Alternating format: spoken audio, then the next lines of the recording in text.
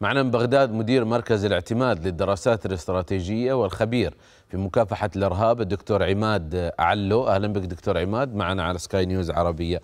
دكتور عماد رغم كل هذا الإصرار الأمني العراقي من جيش وقوات وحشد وكثير من الأطراف العسكرية حتى البيشمركة آه وعلى ما يبدو هناك ميزانيات عالية لمواجهة داعش قضوا على داعش.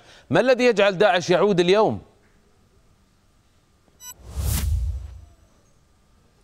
بسم الله الرحمن الرحيم. آه شكرا على الاستضافة. بالحقيقة آه منذ آه يعني أكثر من سنة وتنظيم داعش يحاول يعني إعادة ترتيب صفوفه وتعزيز خلاياه النائمة سواء في العراق أو في سوريا كما تفضلتم في تقريركم ويحاول أيضا بناء انفتاح آه، عملياتي تراكمي صحيح. على طول الخط الممدود من محافظة دياله إلى محافظة صلاح لكن دكتور عماد ما الذي يجعله يعود؟ هذا هو السؤال الأبرز. الحدود العراقية السورية. هي معروفة هذه التفاصيل لكن ما الذي يجعله يعود آه، الآن؟ نعم. نعم.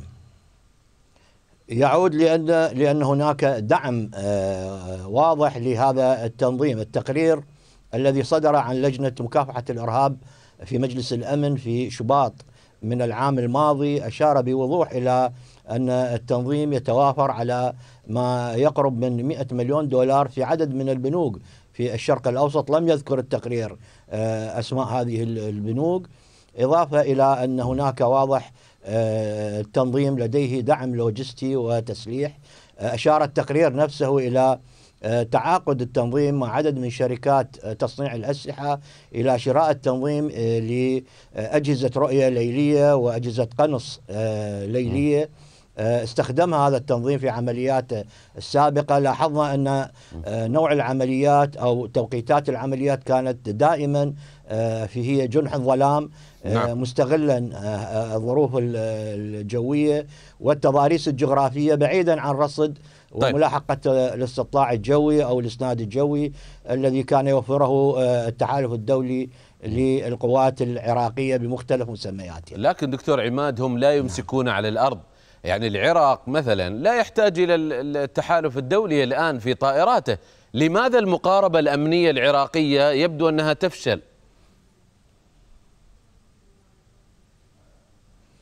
يعني بالتأكيد القوى الجوية العراقية آه، آه، قدراتها الاستطلاعية بالأجهزة المتطورة لا زالت دون مستوى التحدي الداخلي الإرهابي آه، الذي تواجهه القوات العراقية. لذلك لا يزال لا تزال الحاجة ماسة جدا لإسناد التحالف الدولي بتقديم المعلومة الاستخبارية والاستطلاع الجوي وتقديم أيضا الإسناد الجوي في بعض الأحيان.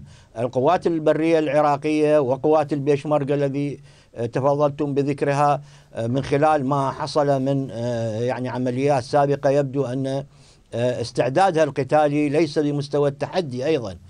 والدليل على ذلك التضحيات والشهداء الذين سقطوا في هذه المواجهات. اذا نعم. مستوى التدريب يجب أن يرتقي إلى مستوى أعلى. طيب. وأيضا هناك التجهيزات والأسلحة المطلوبة لمواجهة العمليات الليلية التي الإرهابية التي يشنها التنظيم تحت جنح الظلام. وهذا بالتأكيد آه، يحتاج إلى مدربين ومستشارين لتدريب الجنود أو القطاعات الماسكة للأرض على استخدام هذا النوع من الأسلحة. أيضا مسألة المتابعة وال يعني آه، آه، المراقبة والتدريب من قبل القيادات والآمرين للقطاعات نعم. الماسكة للأرض لا بد طيب. أن تكون بمستوى آه، أو بدرجة أعلى من الحالية حتى تكون هذه القطاعات على أهبة الاستعداد مستنفرة دائما تستطيع التحسب ومواجهة أي تعرض لعناصر تنظيم داعش في أي وقت ومن أي اتجاه آه، آه، دكتور هل يعود موضوع الحاضنة المجتمعية كان هناك حاضنة مجتمعية معروفة في بعض المحافظات حتى في الداخل السوري لداعش نعم. لكن الجميع انكوى بنار داعش يعني هل ممكن أن نرى حواضن اجتماعية مجددة؟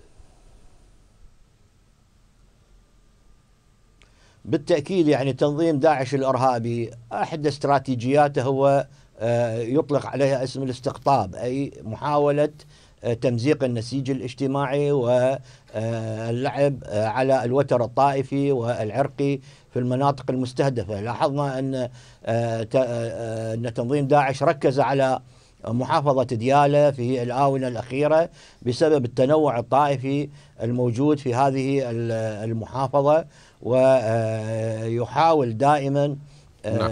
زرع الشقاق في داخل النسيج الاجتماعي وبالتأكيد يظهر أن هناك عودة للحواضن الاجتماعية لهذا التنظيم بسبب أن الظروف والخدمات آه، التي تقدم إلى المجتمع وغياب فرص العمل لا تزال دون آه، المستوى الذي وعدت به الحكومات آه، حكومات نعم. المنطقة المحلية والحكومة الاتحادية لذلك هناك ثغرات كبيرة في المجتمع. يمكن أن يتسلل من خلالها تنظيم داعش الإرهابي. فضلا عن تدني أو تردي الجهد الاستخباري. أيضا هاي نقطة مهمة.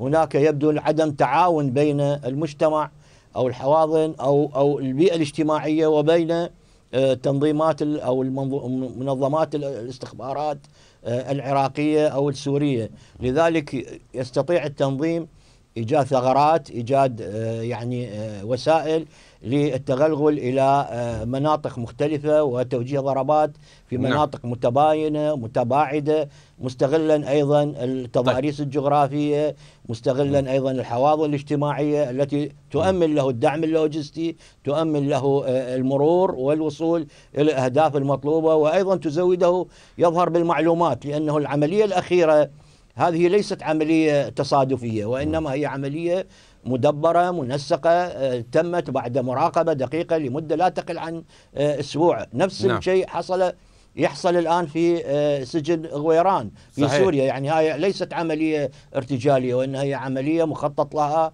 والتنظيم لديه قام طيب. بهجوم منسق استنادا إلى معلومات استخبارية ومراقبة للهدف نعم أشكرك على هذه المعلومات الخبير في مكافحة الإرهاب الدكتور عماد علو. شكرا جزيلا لك.